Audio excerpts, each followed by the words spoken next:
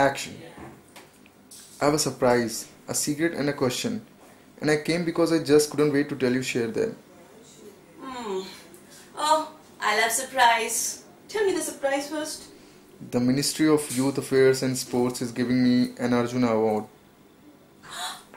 What? Really? Okay, fine, it's all three of us on the team. But whatever. Mm. You're my best friend, and my best friend is getting Arjuna awardee. it's not huge, it's gigantic. I'm so proud of you. So this brings me to my question. What the hell I'm doing I'm going to wear at the Arjuna Award ceremony. Oh, I already borrowed this top for the Chief Minister's dinner for the sportswoman. Don't you have anything new? Oh.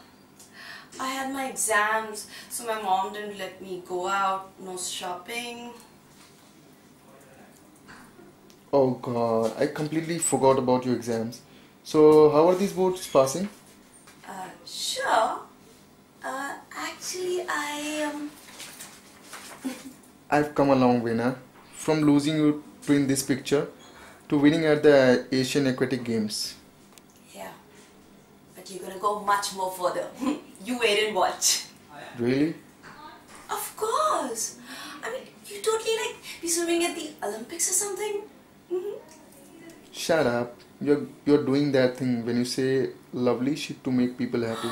Fuck off. I would never really pull that thing on you.